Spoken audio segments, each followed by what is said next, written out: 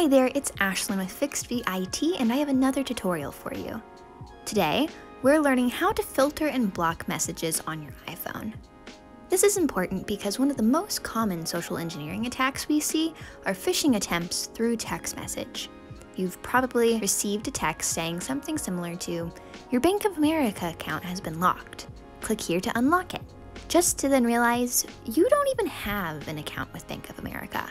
Or maybe you do. So you click the link, enter your login information, and unknowingly hand over access to cyber criminals. That's why filtering and blocking messages is so important. So let's get started.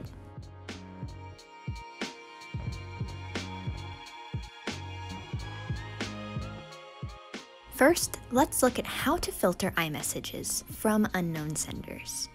First, go to the Settings app. Then go down to the Messages tab.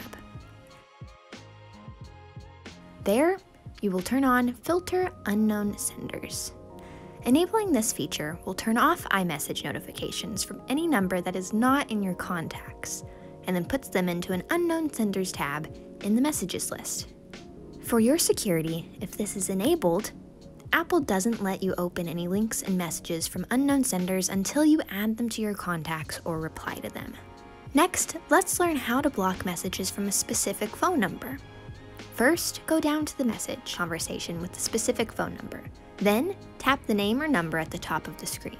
Then tap the eye to the top right of the screen. Next, click the info button, then tap block this caller. You can manage your list of blocked numbers by going to the settings app, clicking messages, then blocked contacts. And that's all I have for you today. By following these quick tips, you can increase your iMessage security and be one step closer to staying protected.